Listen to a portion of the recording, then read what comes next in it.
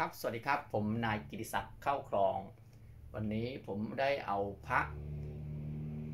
พิมพ์ปกโพนะครับ ที่สร้างในปีพศ 2390 นะครับปลูกเสกด้วยขัวโตนะครับ ในสมัยขัวโตหรือท่านเจ้าคุณสมเด็จพระพุทธจารย์โตพงศรีมีอายุ 60 ปีนะครับ ในสมัยนั้นครับ เพราะว่าท่านเกิดปีพศ 2300 2330 นะครับแล้วพระนี้สร้าง2 2390 นะครับเพราะท่านมีอายุ 60 ปีนะครับ สมัยนั้นเขาเรียกว่าขัวโตนะครับ เพราะท่านได้ยังไม่ได้ดำรงตำแหน่งอะไรนะครับ เป็นพระนะครับ แล้วพระนี้เป็นพระพิมพ์ปกโพนะครับ ยุคต้นนะครับ คนแกะแม่พิมพ์ก็คือชาวบ้านนะครับ มาร่วมแกะแม่พิมพ์ให้ท่านนะครับ หรือร่วมกันสร้าง ร้างพระเพื่อสืบทอดศาสนานะครับ ไว้แจกนะครับ ส่วนหนึ่งก็เอาไว้บรรจุกุในเจดีย์สามองค์ แล้วก็ทาเทือกไม้ด้วยนะครับนะครับ เดี๋ยวผมจะลงขยายให้ FC ดูนะครับนะครับ ว่าพระนี้มีความสวยมีแบบแบบแบบใดบ้างนะครับ ดูความแตกต่างนะครับ พระโบราณนี่คือพิมพ์พระไม่ต้องไปไปอันนี้นะครับ เพราะว่าเขาจะมีความเหี่ยวหดแท่งไม่เหมือนกันนะครับ เพราะพระนี้เขาสร้างด้วยปูน ปูนภูเขานะครับแล้วธัญพืชข้าวสุกกล้วยนะครับ แล้วก็ผงพิผงวิเศษของท่านครับผงพุทธคุณนะครับปลูกเสกด้วยขวดโตนะครับ2390นะครับเดี๋ยวผมมาลงให้ดูหลายพิมพ์นะครับนี่ครับนี่ครับดูครับโอ้มีผงศักดิ์สิทธิ์มากเลยครับครับสวยงามครับอีกองค์หนึ่งครับ เรามีม่เยอะนะครับนะครับ ส่วนหนึ่งก็เอาไว้ให้คนที่มาร่วมสร้างวิพันธ์เพื่อเผยแผ่ท่านนะครับ นะครับดูจากธรรมชาติความเก่าความเหี่ยวความหดเป็นเนื้อที่สวยงาม ถ้าพระยุคปลายถ้าเป็นเนื้ออย่างนี้โอ้โหราคาเล่นกันแพงมากนะครับ นี่คือพระยุคต้นครับส่วนมากเขาก็จะเอาแบบพระแบบรุ่นเก่าๆไปทำกันนะครับนะครับ สวยครับดูครับบางองค์ก็ชัดบางชัดนะครับ ไม่เหมือนกันครับแล้วแต่ความเหี่ยวความหดนะครับนี่ครับดูครับมีมวลสารนะครับไอ้แดงๆนี้เป็นกระเบื้องตรวจนะครับ เป็นคราบเขาไซครับเขาไซเป็นหินศักดิ์สิทธิ์หินเม็ดศิลาธิคุณแล้วก็เป็นดินศักดิ์สิทธิ์ของท่านมี มีเป็นสีขึ้นมาครับมีหลายสีครับเขาเรียกเป็นเม็ดพระธาตุสีเม็ดพระธาตุนะครับ ขึ้นจากธรรมชาตินะครับนะครับ เป็นดินเป็นคราบดินศักดิ์สิทธิ์นะครับ หรือเรียกว่า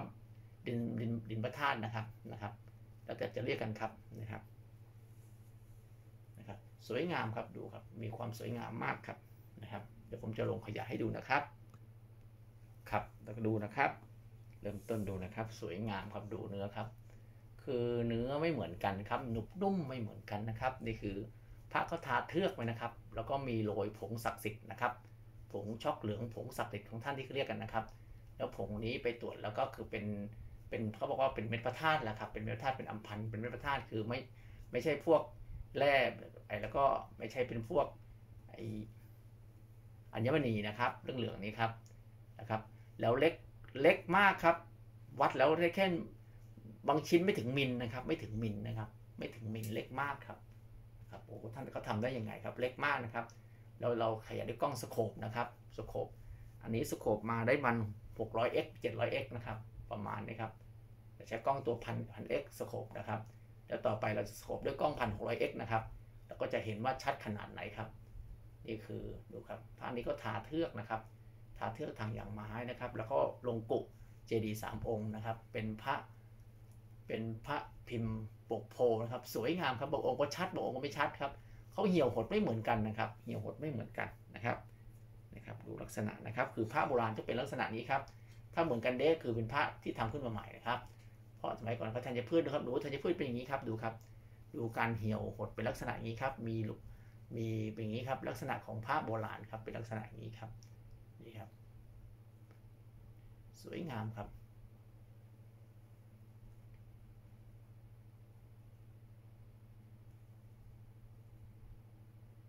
ท่านดูไปเรื่อยๆนะครับ เราก็จะเอาแล้วต่อสุดท้ายเราก็จะลงขยายด้วยกล้องพันหกร้อยเอ็กให้ดูนะครับนะครับนะครับพระอยู่ในล็อตเดียวกันอยู่ในชุดเดียวกันก็จะไม่เหมือนกันนะครับคือบอกว่าพระอย่าชี้ตำหนินะครับเขาเหี่ยวหดไม่เหมือนกันบางองค์ก็เม็ดโพชัดเจนนะครับบางองค์ก็ไม่ชัดบางองค์ก็หดเหี่ยวหลุดไปครับบางคนคือแล้วแต่องค์นะครับไม่เหมือนกันนะครับนะครับ แล้วก็พยายามเอาหยิบมาที่อยู่ในพิพันธ์ให้ ให้ให้เรียนรู้ครับ คือมีความแตกต่างไปเรื่องนี้ครับ นี่คือความแตกต่างนะครับ ให้ดูว่าความแตกต่างเป็นลักษณะไหนนะครับ เราจะเอาองค์ที่ไม่เหมือนกันนะให้ลงนะครับแม้แต่มวลสารครับเรื่องเหลืองมี อันนี้มีแค่ไม่กี่เม็ดเองครับนะครับ ไม่เหมือนกันนะครับนะครับ ให้ท่านดูนะครับ ท่านจะได้เข้าใจว่าโอ้พระเขาเอาลงทีหนึ่งให้ทีสามสี่องค์ให้ดูนะคือมาเทียบเคียงครับ ว่าไม่เหมือนกันครับ ไม่เหมือนกันนะครับ ถึงบอกว่าพยายามให้ท่านรู้ว่า ความเพราะของเก่านะครับเหมือนคนคนเกิดมาท้องแม่เดียวกันยังไม่เหมือนกันหน้าตาไม่เหมือนกันครับพอแก่มาก็ไม่เหมือนกันนะครับนะครับเหมือนกันนะครับดูครับพระเขาบล็อกพิมพ์เดียวกันก็ไม่เหมือนกันนะครับ ดูความเหี่ยวความหดนะครับ เหี่ยวหดไม่เหมือนกัน แล้วก็มีมวลสารไม่เหมือนกันนะครับ ต้องเข้าใจครับดูเขาแล้วสีของมวลสารงอกออกมาเป็นตกผนึกนะครับ งอกขึ้นมาแล้วก็เป็นงอกขึ้นมาแล้วมีสีแตกต่างกันนะครับนะครับ มีสีแตกต่างนะครับนะครับนะครับ มีแตกต่างนะครับ เพราะนี่ใช้ปูนภูเขาผสมข้าวสุกธัญพืชล้วนๆนะครับ แล้วก็เป็นน้ำว่านครับปกว่านครับเป็นพระเนื้อว่านครับเรียกพระเนื้อว่านนะครับ ครับสวยงามครับดูครับนี่คือพระแท้ๆครับท่านจะได้เข้าใจครับ แล้วเนื้อก็สวยงามขนาดไหนครับนี่คือเนื้อยุคต้นครับนึกต้นนะครับ ไม่ต้องไปเอา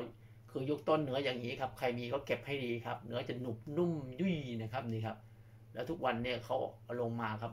คือพระผ่านการใช้เขาจะออกมาลักษณะนี้แต่อันนี้พระไม่ได้ผ่านการใช้นะครับ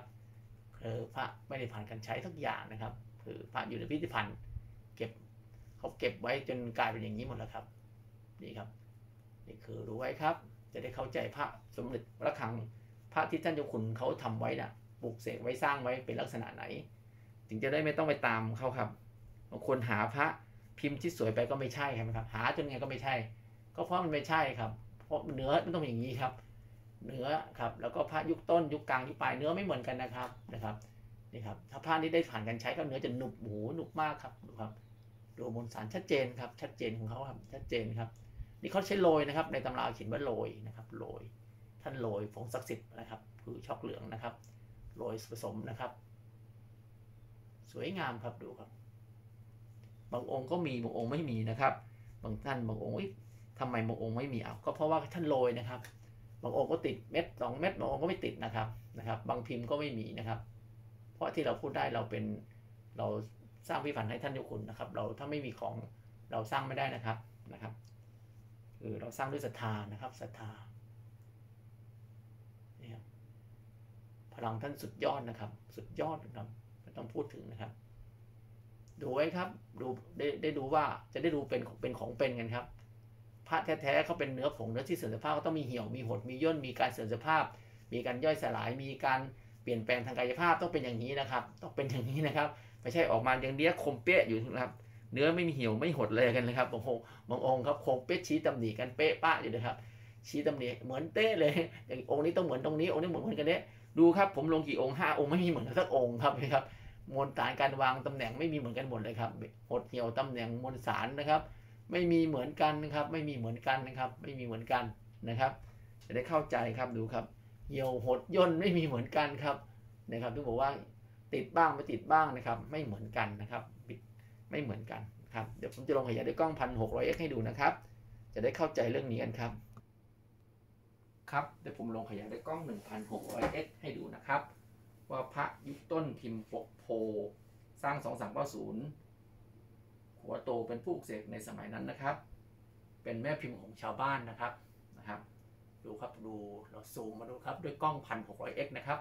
สโคปดูเนื้อก่อนครับว่าเนื้อจะหนุบนุ่มขนาดไหนครับนี่คือเนื้อผ้าโบราณครับนี่ครับเป็นลักษณะนี้ครับนี่คือเป็นเนื้อข้าวสุกกล้วยนะครับ เป็นลักษณะนี้ครับเป็นลักษณะนี้ครับ ดูไว้นะครับแล้วก็ต่อมานะครับแล้วก็มาดูความเปลี่ยนแปลงกายภาพนะครับ ดูมีมวลสารนะครับดูครับ เห็นไหมครับเม็ดเหลืองๆเป็นเส้นๆก็มีครับเป็นไงครับ ไม่ใช่จะเป็นเหลี่ยมๆนะครับ ไม่ใช่เป็นเหมือนหัวน็อตนะครับนะครับเขาเป็นเรื่องเหลืองนะครับไหมครับเรื่องเหลืองครับเห็นไหมครับ ทีนี้เรามาขยายเราจะรู้ครับนะครับเขาเหลืองเขาเป็นดินศักดิ์สิทธิ์นะครับเห็นไหมครับครอบอยู่นะครับไม่ใช่เหลืองครับนะครับนี่ครับ เป็นเส้นเหลืองๆนะครับ เป็นเส้นก็มีนะครับ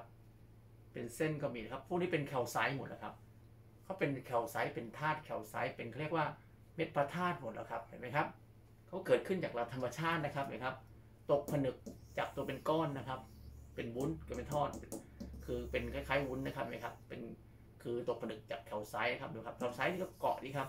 เกาะนี่อีกครับนี่ครับ อันนี้บวมขึ้นมาเป็นคือเปลี่ยนแปลงกายภาพ มีสูงมีต่ำไม่เท่ากันนะครับนี่ครับ เห็นไหมครับเห็นไหมครับ สวยไหมครับนี่ครับคือนี่คือของศักดิ์สิทธิ์ของท่านนะครับ เป็นผงศักดิ์สิทธิ์นะครับ นี่คือแคลไซต์ครับแคลไซต์ตัวนี้เขายังสีบริสุทธิ์สีขาว อันนี้เขาไปอยู่ตรงคาบน้ำอ้อยเคี่ยวพวกนี้ครับ หรือเขาจะกลายเป็นสีแบบนี้ครับ ไม่เหมือนกันนะครับนี่ครับนี่ครับที่แบบว่าที่เราดูดูในคลิปเมื่อกี้เหมือนหัวน็อตนะครับนี่ครับไม่ไม่ไม่เหมือนกันนะครับ มีหลายลักษณะมีหลายรูปแบบนะครับนี่เอกลักษณ์ของพระสมคังแท้ๆจะเป็นลักษณะนี้ครับ คือท่านก็ได้ดูแต่เขาพูดกันครับ พูดกันก็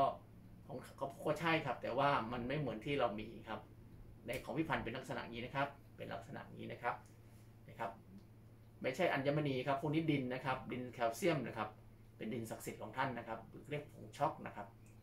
ดูครับนี่ครับดูครับนี่ครับการการตกผนึกนะครับ แล้วก็เป็นพวกทาเทือกทายางไม้แล้วก็เกิดผนึกนะครับนี่ครับเขาเขาเขาเขาตกผนึกนะครับ ตกผนึกขึ้นมาครับนี่ครับแล้วขึ้นมากับพวกทาเทือกกระเทือกนะครับนี่ครับสวยไหมครับ สวยไหมครับเหมือนหัวน็อตเลยครับนี่ครับเล็กมากครับ มิลเดียวครับ แค่มิลเดียวนะครับ มิลเดียวนะครับ ไม่ถึงมิลด้วยครับบางบางบางบางชิ้นไม่ถึงมิลนะครับเขามีหลายแบบครับ คือเป็นที่ท่านตัดออกมาครับผมว่าตัดที่ท่านบอกว่าผงช็อกเหลืองท่านตัดแล้วโรยนะครับลอกออกมาหลายรูปแบบนะครับ ตัดตัดแล้วก็เล็กมากครับ เท่ากับเส้นผมนะครับ เส้นผมนะครับเนี่ยเท่าเส้นผมนะครับ คือมิลเดียวครับ ไม่ถึงมิลด้วยนะครับ คือวัดด้วยไม้บรรทัดแล้วครับนี่ครับ ลองวัดให้ดูก็ได้ครับนี่ครับนี่ครับ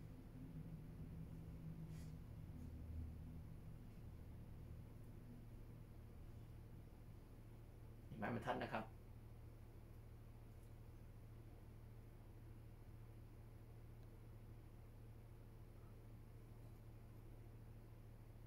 นี่ครับไม้บรรทัดวัดนะครับ จะได้รู้นะครับว่าเขา กว้างขนาดไหนครับ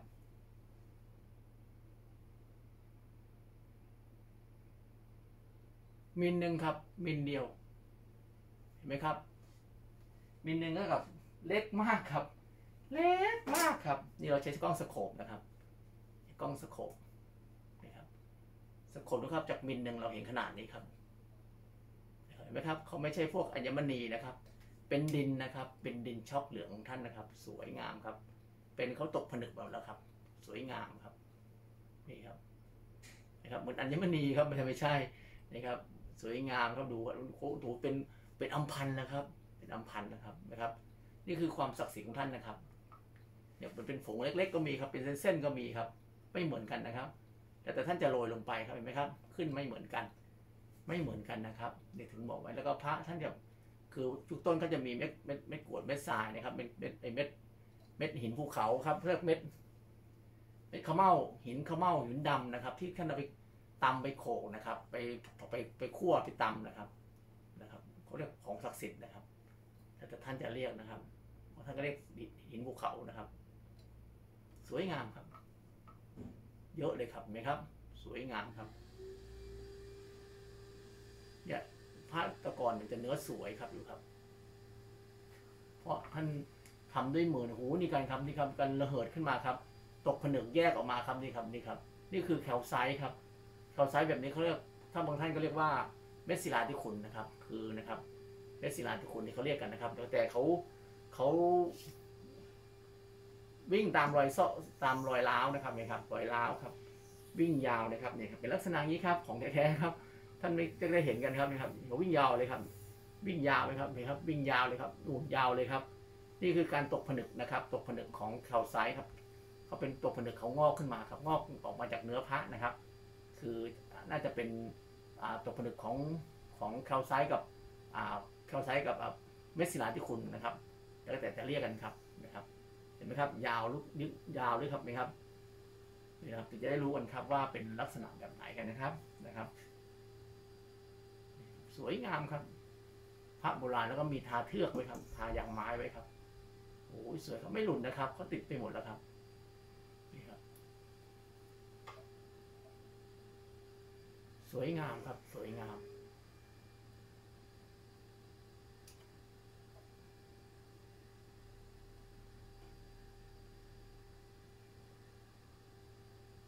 ดูครับเห็นไหมครับเม็ดศิลาที่คุณครับเม็ดศิลาคุณหรือแถวซ้ายก็ตกผนึกนะครับ หรือเป็นก้อนเม็ดศิลาทุนมีสองอย่างเรียกไดูครับ สวยงามครับดูครับมีการตกผนึกดูครับเนี่ย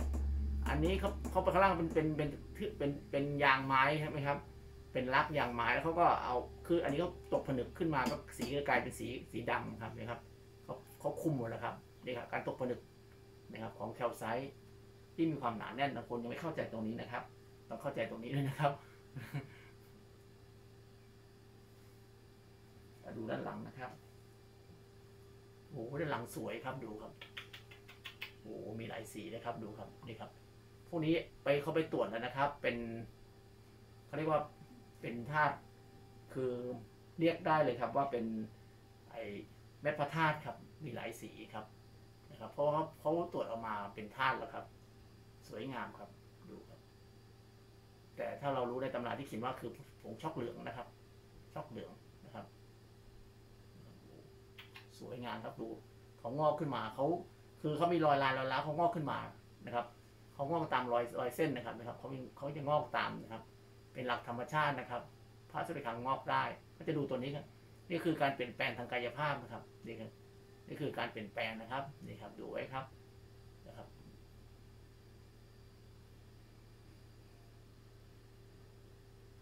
อันนี้ตกผลึกหนามากครับเนี่ยหนาเลยนะครับเนี่ยเดี๋ยวดูครับ หนามากครับเห็นไหมครับเนี่ยครับ หนาปึ๊กเลยครับเห็นไหมครับจะได้ดูกันครับ สวยงามครับ ครับคลิปนี้จบเพียงแค่นี้นะครับ ท่านจะรู้ว่าพระยุคต้นเนื้อแบบนี้เขาเล่นกันครับ เล่นกันมากถ้าเนื้อแบบนี้ครับ แพงมากครับ สมัยก่อนเล่นกันแพงมากนะครับ เดี๋ยวเดี๋ยวนี้ก็ไม่รู้จักกันแล้วครับเห็นไหมครับ เพราะไม่มีพิพิธภัณฑ์ไม่มีไม่ไม่มีที่แหล่งอ้างอิง ก็ไปเล่นกันพระยุคป่ายที่แบบมาหาเนื้อแบบนี้ก็ตั้งราคากันแพงมากนะครับนะครับ ที่เนื้อที่เล่นกันคือเนื้อนี้แหละครับ สวยงามครับนี่คือพระยุคต้นครับนะครับ เป็นพระที่มีราคาประเมินราคาไม่ได้นะครับ แต่ที่นี่ไม่มีราคาครับ ส่วนมากเราจะเอาไว้ถ้าส่วนหนึ่งแล้วก็แบ่งไว้ให้คนที่รู้ลักษณะมาร่วมเอาของอุปกรณ์มาแลกเปลี่ยนแบ่งปันมามาร่วมสร้างนะครับหรือเข้าพิพิธภัณฑ์พิพิธภัณฑ์แล้วก็ชอบแบบไหนเราแคปหน้าจอมา แล้วก็แลกแบ่งกันนะครับ นะครับนะครับ ส่วนบางคนก็อยากซื้ออุปกรณ์ซื้อปูนซื้อหินทราก็มาร่วมได้ครับนะครับ ถ้าชอบก็มาร่วมครับ แต่ไม่มีเยอะนะครับ ใครมาก่อนได้ก่อนนะครับ อีกส่วนหนึ่งเราเข้าพิพิธภัณฑ์นะครับ ครับคลิปนี้จบอย่างนี้ครับครับสวัสดีครับ